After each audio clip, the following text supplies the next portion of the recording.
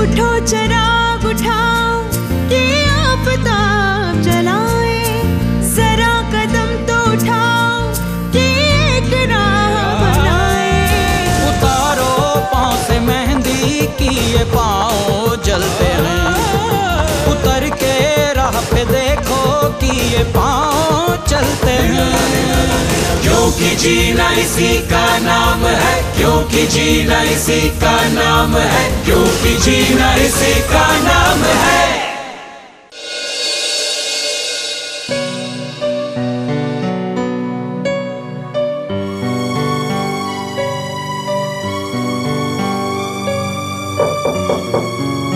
कौन? राम राम बहन। अरे बबली की माँ। राम राम, आओ आओ। आओ बैठो। आज चार तारीख है ना? हाँ हाँ चार तारीख ही है। और रजनी और बबली भी आज ही आ रही हैं अपनी ट्रेनिंग पूरी करके। पता नहीं काहे की टिरानिंग है। वो का कहे थी पीर एडू। पीर एडुकेटर मतलब हम जोली शिक्षक जो अपनी उम्र के लोगों को सही शिक्षा देता है। पता नहीं क्या शिक्षा देगी। पर अभी तक तो आ जाना चाहिए था। नौ बज गए हैं और ये लोग अरे थोड़ा इंतज़ार और करो। दोपहर की बसें दोनों पहुँचती ही होंगी। भूल गई क्या? बस पहुँच जाए ठीक ठाक पहली दफ़ा गई है घर से बाहर अकेले। चिंता क्यों करती हो बबली की माँ? थोड़ी देर में पहुँचती ही होगी उनकी बस।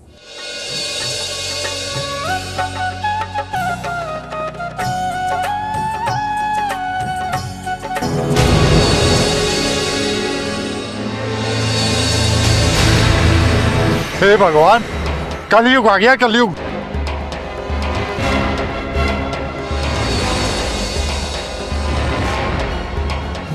मुझे माफ़ कर दीजिए वो गलती से गलती? वो तो दिख रही है। जमाना बहुत बदल गया भैया। ताऊ वो ताऊ ना हूँ मैं तेरा। समझी? जो ताऊ होता ना तो तुझे इसी बस में माफ़ी मांग तो रही हूँ मैं आपसे। तो मुझ पे एहसान कर रही है क्या? माफ़ी मांग तो रही हूँ मैं। मान्यवर इतना उत्तेजित क्यों हो रहे हैं आप? क्रोध बुद्धि को खा जाता है और विशेषकर आपके लिए तो क्रोध अत्यंत हानिकारक सिद्ध हो सकता है। मतलब? मतलब इस वृद्धावस्था में व्यर्थ में क्रोध करेंगे तो शीघ्र ही प्रस्थान कर जाएँगे। पहले तो तू हिंदी में बोल हिंदी में। अच्छा अच्छा ताऊ हुआ क्या है? क्या हुआ? अरे छोरी होके छोले में ये सब लेके घूम रही है। ये ये तो कॉन्डम है। आपको नहीं पता? प, प, प, पता है लेकिन तो क्या हुआ? तो क्या हुआ? छोरी होके और ये काम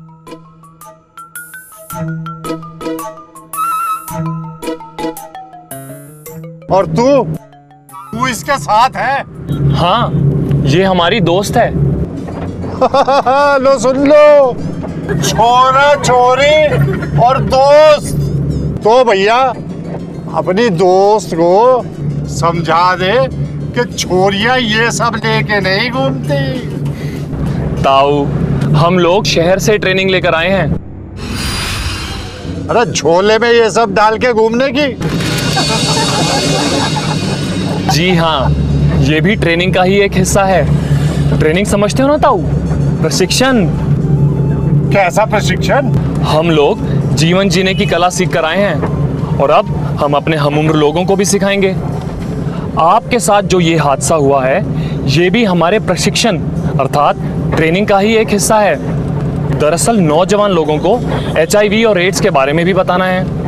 कि इस रोग से बचने का सिर्फ़ एक ही उपाय है, संयम और सही जानकारी रखना। कॉन्डम एच से बचने का एक साधन है। आप समझे ताऊ कि ये इसके झोले में क्यों है? अरे भाड़ में गया इसका झोला और भाड़ में जाओ तुम सब। अरे ओ भाई कंडक्टर, मुझे तो कहीं और सीट पे बिठा दे, मैं नहीं बैठता वहाँ।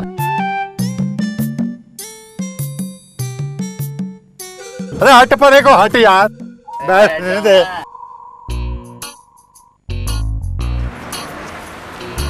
ये तो शुरुआत में ही गड़बड़ हो गई। छह। क्या रजनी? ना तो तू बैग की चेन खुली छोड़ती और ना कॉन्डम उस ताऊ पे गिरते। पता नहीं गाँव जाके क्या होगा। हालाँकि हमजोली शिक्षक ट्रेनिंग में हम चारों को यह बताया गया था कि शुरू शुरू में कुछ मुश्किलें तो हो सकती हैं, लेकिन यहाँ तो शुरू करने से पहले ही गड़बड़ हो गई। गाँव में जाके एचआईवी और एड्स की बात करेंगे तो पता नहीं क्या होगा।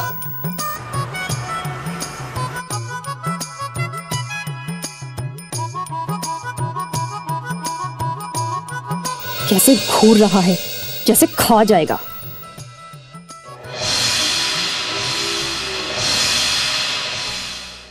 वो तो अच्छा हुआ कि राजा बाबू ने आकर बात संभाल ली। और राजा बाबू भी ना कभी कभी अपने ही स्टाइल में हिंदी बोलते हैं। चुपके चुपके वाले धर्मेंद्र लगते हैं।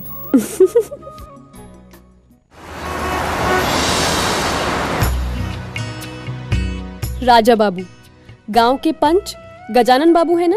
उनका बेटा।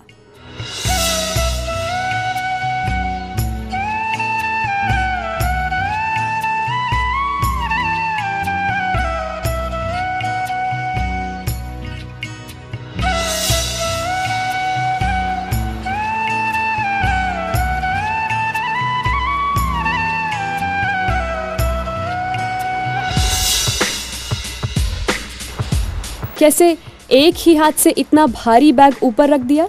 सुबह से शाम तक गाँव के अखाड़े में कसरत जो करता है।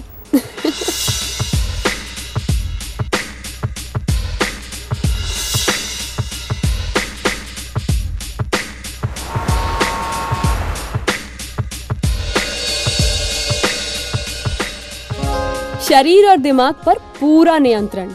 24 घंटे एक ही मंत्र रटता है। संयम संयम संयम। इसे बबली, रूपन और मुझे, हम चारों को हमजोली शिक्षक की ट्रेनिंग के लिए चुना गया था, ताकि हम अपने हम उम्र लोगों से एचआईवी और एड्स के बारे में बात कर सकें। हमारा गुरु मंत्र था, नादानी में की गई एक फूल ज़िंदगी भर की परेशानी बन सकती है।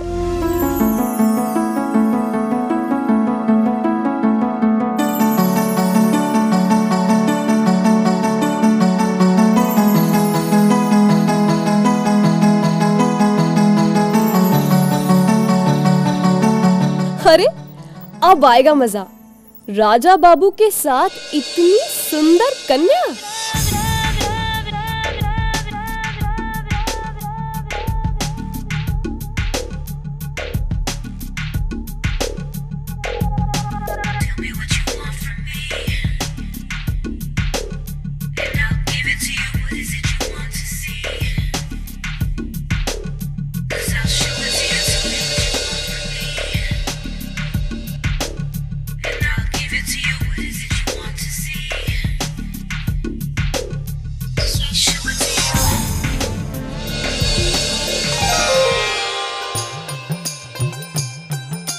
संयम संयम संयम संयम संयम संयम।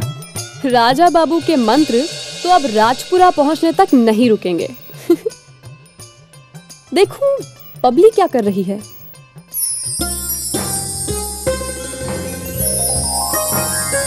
करेगी क्या?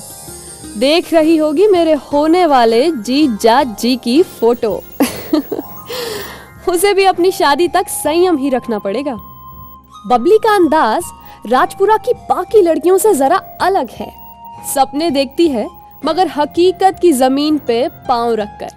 घर वाले शादी कर रहे थे, लेकिन बबली बबली ने आशा बहन जी की मदद से उन्हें रोका, क्योंकि वो अभी अट्ठारह की कहाँ हुई थी? मैं अभी ये शादी नहीं करना चाहती।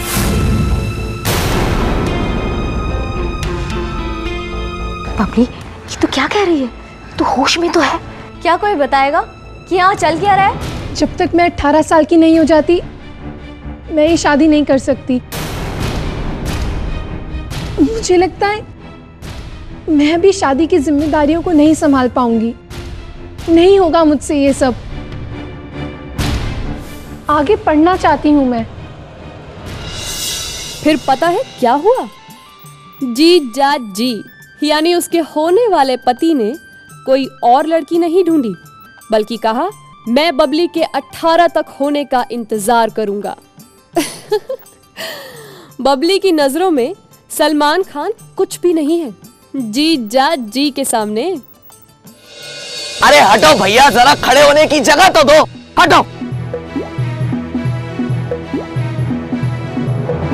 हम्म। रिश्ते में तो हम तुम्हारे बाप मालूम होते हैं नाम है शहनशाह। ओहो इसे क्या हो गया अब? लगता है फिर एक्टिंग का बूट चढ़ गया इस पर। जानी तेल लगाऊँ या पानी? अरे इसके बारे में तो मैंने आपको बताया ही नहीं। ये है रूपन हमारा चौथा दोस्त पूरा फिल्मी कीड़ा। बाबूजी बाबूजी मैं काजल से बहुत प्यार करता हूँ। बाबूजी अगर काजल नहीं मिली ना तो एक एक फट्टे चक दूँगा। चड्डा! चड्डा!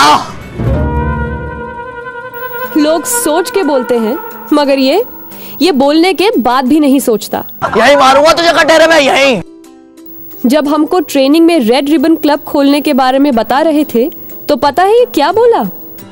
ए, ए, ए, अगर आप कहो तो काजोल को बुला के कटवा दो वही रेड रिबन अरे खास दोस्त है मेरी हाँ हम्म, अब लेकिन ये रूपन करने क्या वाला है? तो भाइयों और बहनों सफ़र है सुहाना। क्या आप सब गाएँगे मेरे साथ एक गाना? तो क्या सब तैयार है? आओ सिखा दूँ एच आई वी की एबीसी एबीसी भाई एबीसी लेकिन सब इसका ख्याल रखें। ए मतलब? अभी नहीं। ये मतलब? अभी नहीं। बी यानी बेवफाई बिल्कुल नहीं। हाँ। और सी मतलब कॉन्डम। कॉन्डम करो इस्तेमाल।